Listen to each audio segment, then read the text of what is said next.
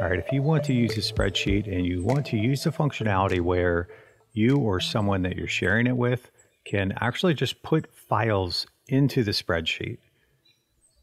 Uh, we're going to show you a solution to do that right now. But first, we'll start out by showing you what you currently can't do. So we're going to use Google Sheets in this example. It'd be similar with Excel, where let's take this PDF and I just wanted to put it into a cell.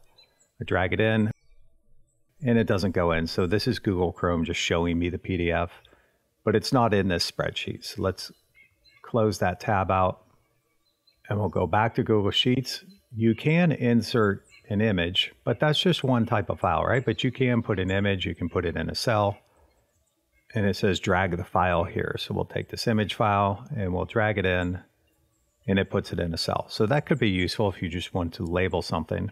But if you want a more full functionality, so if you want to use it to store and transfer files, we're going to look at something called spreadsheet.com. So I have this open on another tab. And we'll walk through kind of a made up example here to show you what you could do with the attachment capability. So spreadsheet.com works a little bit differently where you can define what each column is for. So if we look at this column that I called file drop and we use this drop down and we edit the data type, let's tell it that this is for attachments. So it's going to expect files, but we won't make it strict. So you can also just use it to put in text or to use formulas. So we'll leave that unchecked. And just for kicks, we'll say medium thumbnail size. We'll do update. And it automatically made the rows larger because it's expecting to put thumbnails in here that are a little bit bigger. But it only did it where my table starts. So this is my table header, and below it, it made the rows bigger. So I've made this like a request list where this is a mortgage company. And let's say you want to refinance, get some low mortgage rates. The mortgage company made this spreadsheet and so these are multi-user, you're going to come in and give them the files. To prove your ability to pay, let's say they want some PDFs, they want to see your bank statement and your paycheck. Let's take the bank statement. We're just going to, this is my Windows desktop here. We're just going to left click, drag it in. It uploads the file and just shows it as a little thumbnail. So that is a PDF file. You can't put that into Google Sheets or Excel but you could put that into spreadsheet.com. Let's do the next one, but we'll do it a different way to show you this paperclip is just an indication that you could do an attachment. It's a standard icon, right? And it will allow you to grab it from different sources. So you could just do it from a URL on the web or some online storage services. I just happen to have this one on my computer too. So I'll do my device and I'll grab my paycheck. You could do multiple files at once here to queue them before you upload it, but let's left click and upload one file.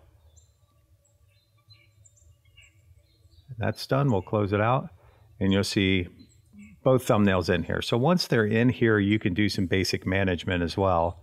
If you click on the three dots, you can see the files. You could change their order if you grab it in the lower left-hand corner, and you could also rename them. Right, so this is my huge paycheck. I'm making the money. All right, whatever. We'll close this out. And what you're seeing inside the thumbnail is actually what I wrote in the PDF. So I these are really involved. The paycheck one says paycheck. And that's why you're seeing that right there. It's not really the file name. So it can take any type of file. The next thing we're going to do, just as an example, is to upload a Word document. Just drag and drop that here. And we'll try a different way to insert this one. We will just do insert image. That would be similar to the way Sheets or Excel would do it. And we'll grab this JPEG. What that functionality does and what I just learned is that that puts it on top of the cells. So you can do this if maybe if you're trying to put in a corporate logo and you want this in the upper left hand corner. But this will give you different functionality. So this really isn't the way that you would transfer files, or store files, and you can't call these up with a formula. So we will delete that. And if we just drag it right into the cell, it's going to do kind of what we had in mind there. And as I just talked about, let's look at a way that you can use these once they're in the spreadsheet. So obviously in the way that we build this out, the other user, so I'm acting like I want a mortgage, the, the mortgage provider would come in here and just download these. So they could just come in, left click on it, click on the download icon here, or left click on it from this view and access the file and download it. All right, so let's say we're the mortgage provider again. We came in here. We want to indicate whether or not those files are okay. We're going to uh, use a drop down of status and we'll say this one's complete. So I set those up using a select data type. We can get into that another video. Uh, and this one is this one's incomplete. So we didn't like that ID. If you look at that, that's really not an ID. And we'll say that this random squirrel picture for some reason is exactly what you wanted for the deed. Okay, makes sense. Let's say this was a status that was set by me, but the mortgage provider wants to indicate a status too. So we'll say this is the official status.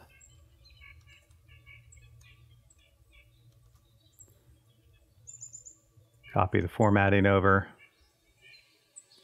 Let's scroll to the right and I have a little lookup table here where if it's complete, it's going to show this icon. If it's incomplete, it will show this one. So I've also uploaded these files. So when I left click on cell J5, you can see in the formula bar that it knows that there's an image in there. So we could just do a VLOOKUP. So this is a uh, function that exists in other spreadsheets. We won't spend any time explaining it, but we'll just show what it does. We'll look up E5 we're going to use this range. We'll fix the range with some dollar signs. If you want more information on a VLOOKUP, I'll put a little link in the video for you in the upper right hand corner. We're going to look at the second column, which is where the icons are, and we'll say it's false. All right, so there's our VLOOKUP. We'll pull that down, and you see you're able to look up these file attachments and return thumbnails of them with a formula that you use. If you want to see some of these other features that we just reviewed, on your screen right now is a thumbnail to the next video that's going to walk you through those. I'll see you in that next video. Thanks for watching.